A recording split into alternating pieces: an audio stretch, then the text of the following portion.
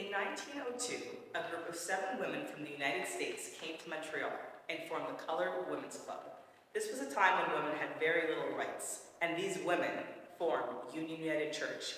They were the wives of railway porters, and this church has so much history here in Montreal.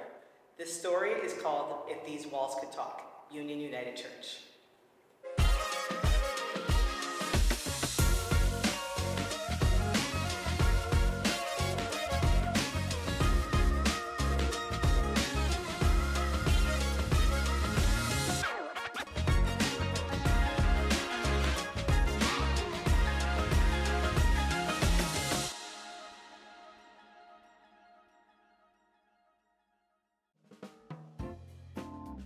Hi, my name is Akilah Newton and welcome back to my vlog. So I'm in a very special location today. I'm at Union United Church and I'm filming some uh, some videos about Canadian Black history. So this is not usually what you would see in my vlog. I'm working on a special project. I'm very excited. This is one of the oldest, it actually is the oldest church, oldest black church in Canada. So I'm excited to work on a project in this location today. So I hope you enjoy. That's okay. That's fine. You know what about that? Yeah, right, because, uh, just before the new one. Yeah, okay, I have, will you see that? Perfect. No, I So then don't know, literally- yeah, because that's one of the things that. I talk. Oh, okay. Good. Oh, yes. Forget. Yes, exactly. Yeah. Yeah. Oh, for sure. And that's actually next on my list, Negro Theater Guild, and then the Philistine Art Club, and then the Montreal Jubilation Gospel Choir, of course. Fifty years, I think it was, in the last two, three A couple of years. years ago. Yeah, so I wasn't part of that show. you guys for? Sure. You continue talking. Could you talk closer to where Oh. I'm filming? Oh, sure. Just so I can I can start setting up the shot. Yeah, sure. So if you come, the two of you, standing, what I'm thinking right now is uh, close to the center aisle, around the middle of the pews. It's okay if I have this paper in the shot. If I'm just holding it. Here, here, it's the CBC, reporter. Okay. You don't know Well, what I'm you're not here to a about. reporter at all, so. You got the questions, you're a reporter. Yeah, so just to give you an idea, I'm just gonna quickly go over the last few, then we'll move over there. Just so she gets an idea of what the questions are.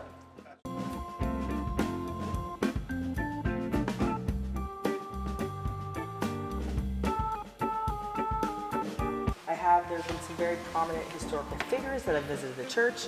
Why do you think it's important for people such as Nelson Mandela, Sidney Poitier, Rosemary Brown, Bishop Desmond Tutu, just to name a few, to visit and experience this church? Mm-hmm. So you just talk about obviously the importance of the church and Yeah, I mean, I think it was, I don't think it was an experience for them, it was more of an experience for us. yeah, for the congregation. You know, the mere fact that they actually came here. Yeah. And, and, and, you know, in the pulpit, well, you know, I mean, that's huge. So, I mean, it was more huge for us than it was for them.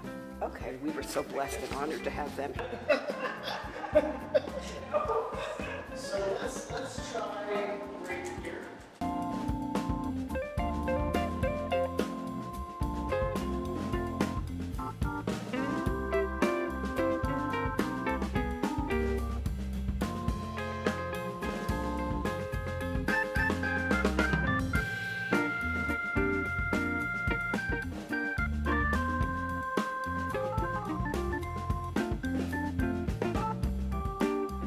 I'm here with Nancy Oliver MacKenzie. She's an official historian for Union United Church, and she's here to tell us a story about this incredible church, the history of the church, and how it got started. So, welcome, Nancy. Thank you for joining us. Thank you for having me. I'm so passionate about the history of this church. First, blacks in Montreal really were the Americans, and a lot of the men were porters on the trains and they brought their wives and settled here. Now, at the turn of the century, um, the population of Montreal was half a million, um, and the population of people of color was about two or three hundred.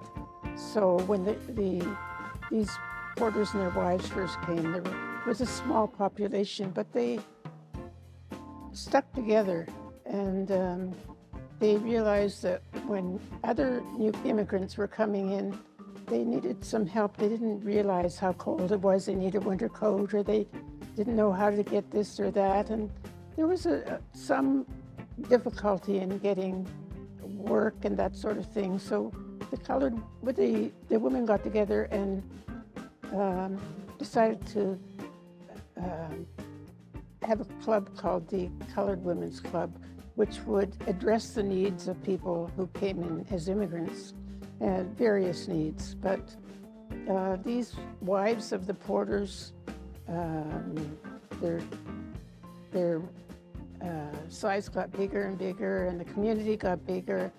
And um, so some of the needs were, were greater. And one of the needs was that of a place to worship where they could feel comfortable. So they got together and they decided to uh, become a congregational church. So Union Congregational Church started in 1907 with 26 people and uh, hasn't stopped growing since.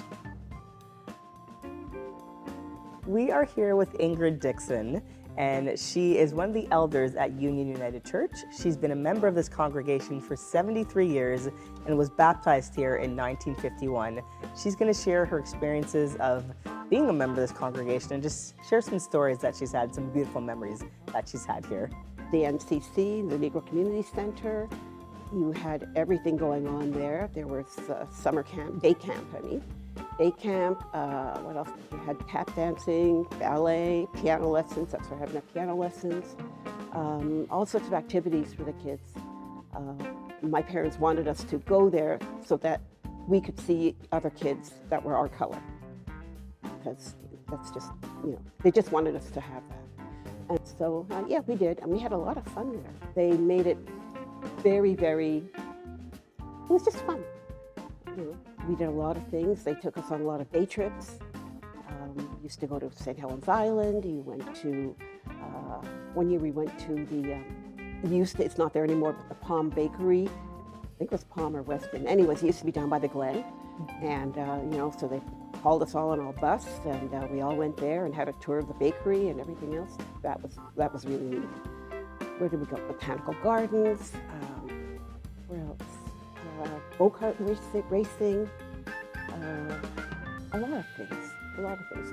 Um, in the church here, every year, religiously, we have the Sunday school picnic in June. Um, that was a lot of fun. Uh, what else did we have? We used to have uh, fashion shows in the church. Yeah, that's them up there. Santa Claus. There you go. Well, that's our little, oh yeah. The choir? That's, um, oh, um, what's his name?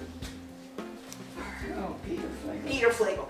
Oh, I've heard of him. Yeah, he's, he's, a, he's in Ontario now. He's in the government, but I don't ex- know exactly what he That's does. why. Okay, yes. Yeah, so yeah, that, he was, uh, he was the choir director with these kids.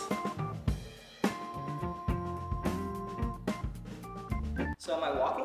Yep. Okay. Very slowly. In 1902, a group of seven black women from the United States came to Montreal and formed the Colored Women's Club. These women were the wives of railway porters, who then went on to create a congregation here at Union United Church. I'll do that again.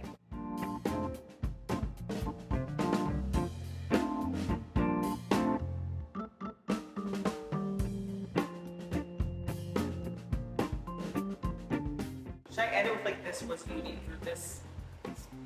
So if something is built from truth, authenticity, and love, it stands the test of time. Is that it?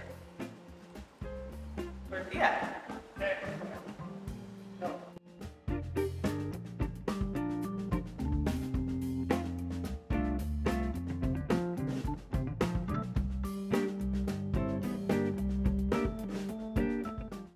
Just so happy you, you've taken an interest in our, in our little church here. Um, and it's been fun. It's always fun to tell stories about the church. It really is. You know, and, and we're just happy that you're so interested. You guys have been terrific. Wow. It's so, it's so nice that the stories will have a wider audience because there are a million stories from this church and they're all so interesting and so different. You know, everything from boxers to wrestlers to musicians and uh, spiritual leaders. Yeah. And just like I said earlier, the knowledge that I gained from spending the afternoon with both of you has been incredible. And I'm just continuing the work that you guys started. And you know, there's so much more work that needs to be done. I just hope that the younger generations, you know, continues the work that we've all been doing. We thank you so, so much for your interest. We really do. Thank you for allowing me to come the afternoon.